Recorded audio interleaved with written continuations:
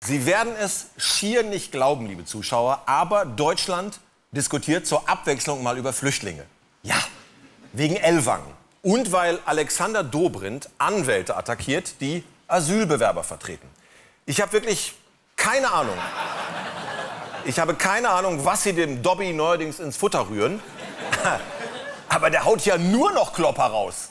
Es ist nicht akzeptabel, dass eine Anti-Abschiebeindustrie dafür sorgt, dass die Bemühungen des Rechtsstaates äh, unterlaufen werden. Mmh, skrupellose Anwälte marodieren durch unsere Straßen und nutzen kackdreist legale Rechtsmittel. Ich sag mal so, wenn ich in der CSU wäre, ich würde nicht gegen Anwälte hetzen. Wie oft haben die euch rausgehauen, wenn ihr wieder besoffen Leute überfahren habt? Einfach nur mal drüber nachdenken. Ja, vielleicht lag es auch an der dünnen Luft da oben auf der Zugspitze, aber da hat sich der Alex in eine ganz bestimmte Formulierung geradezu verbissen, haben wir festgestellt. Hier, alles aus einem Interview und wir zählen mal mit. Die Abschiebung von äh, kriminellen Asylbewerber, gewaltbereite und äh, kriminelle Asylbewerber, kriminelle oder gewaltbereite Asylbewerber, kriminellen Asylbewerbern, gewaltbereite Asylbewerber, gewaltbereite Asylbewerber, kriminellen und gewaltbereiten äh, Asylbewerber, gewaltbereit oder kriminell, kriminelle und gewaltbereite Asylbewerber, gewaltbereite und äh, kriminelle Asylbewerber, kriminellen und gewaltbereiten Asylbewerbern, kriminellen Asylbewerber, kriminell und gewaltbereit. Das habe ich jetzt alles dreimal, viermal, fünfmal gesagt. Gut, danke. Du, dafür nicht, Alex. dafür nicht. Ja, gewaltbereit haben wir 13 Mal, müssen wir 12 abziehen. Was wir gerade gehört haben, nennt man Framing. Der Zuschauer soll das Wort Asylbewerber gar nicht mehr denken können ohne den Zusatz kriminell. Dobrindt, jetzt mal ernsthaft, tritt bitte endlich ein in die AfD. Wirklich. Selbst die AfD hat es nicht verdient, dass du ihnen ständig die Ideen klaust. Hier, guck mal. Wir haben für dich extra vorbereitet das AfD-Starter-Kit. Ja, da ist alles drin, was du brauchst. Guck mal hier, die Original Gauland-Hundekrawatte. Zum Beispiel.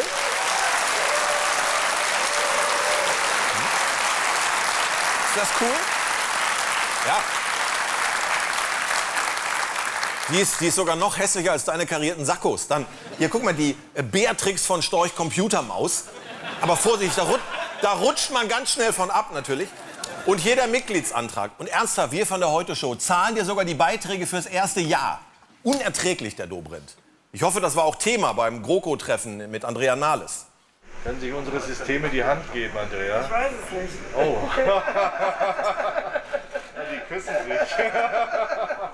So weit muss das ist schon. Wir mal nicht übergriffig werden. Ja, es war von Hand. Das war so, okay. Schreckliche Bilder, wirklich. So, Tatsache. Tatsache ist, Nahles hat nichts gesagt. Die SPD will sich nicht mehr streiten. Tatsache ist aber auch, zur Entlastung unserer Kommunen und damit die Integration der wirklich Schutzbedürftigen klappt, müsste auch das mit den Abschiebungen besser klappen. Aber das scheitert ja, wenn man genau hinguckt, nicht an irgendwelchen Anwälten, sondern zum Beispiel am Bundesamt für Migration und Flüchtlinge, kurz BAMF. Dessen Asylbescheide sind nämlich oft so fehlerhaft, sagen Richter, dass 44 Prozent der Klagen dagegen in erster Instanz erfolgreich sind. Ich meine, kein Wunder. Das BAMF war jahrelang unterbesetzt und jetzt geht es nur noch um Tempo, Tempo, Tempo. Wir sollten innerhalb weniger Monate Hunderttausende von Asylverfahren abschließen. Das war die oberste Maxime. Wie diese Leistungen erbracht werden, war vollkommen zweitrangig. Und wenn keine Qualität gefordert wird, dann arbeite ich ebenso, wie es gewünscht ist. Willkommen beim ZDF. ja, aber gut. Ja, das BAMF hat monatelang um mehr Personal gebettelt, dann gab es Crashkurse, jetzt ist das dabei rausgekommen. Aber demnächst wird alles besser. Mit Horst Seehofers Ankerzentren. Ja, Anker. Anker klingt doch super. Aber selbst da haben die Gutmenschen von der Anti-Abschiebeindustrie schon wieder was zu meckern.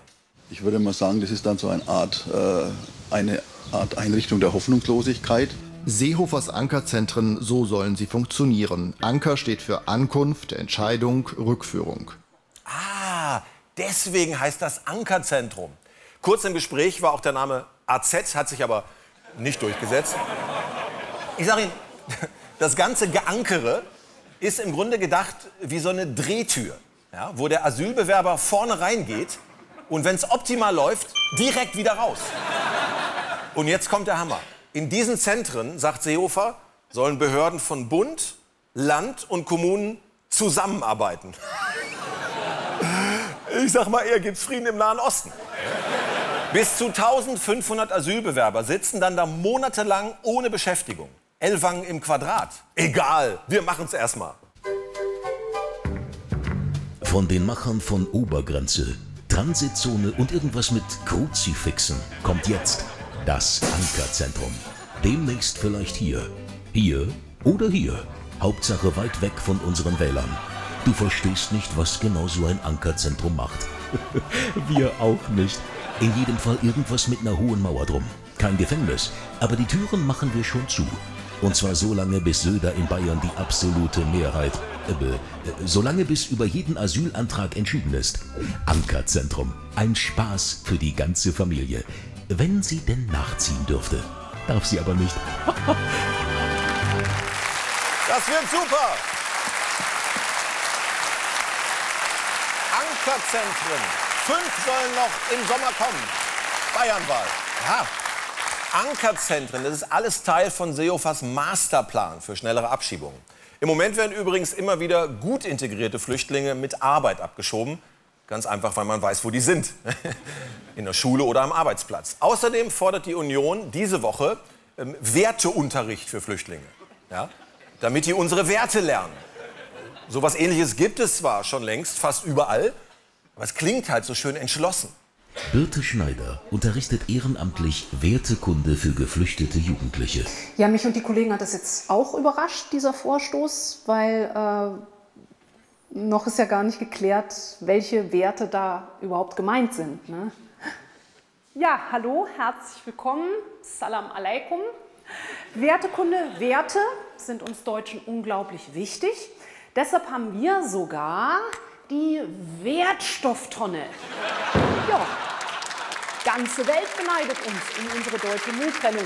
Deshalb ist das auch das Erste, was ihr hier können müsst. In praktischen Wertstoffübungen lernen die jungen Zuwanderer die Grundlagen unseres Zusammenlebens. Nee, nee, die gehört in die Katzentonne. Wertekunde ist schon wichtig. Aber natürlich muss man dann auch Deutsche unterrichten, die unser Grundgesetz nicht richtig verstanden haben.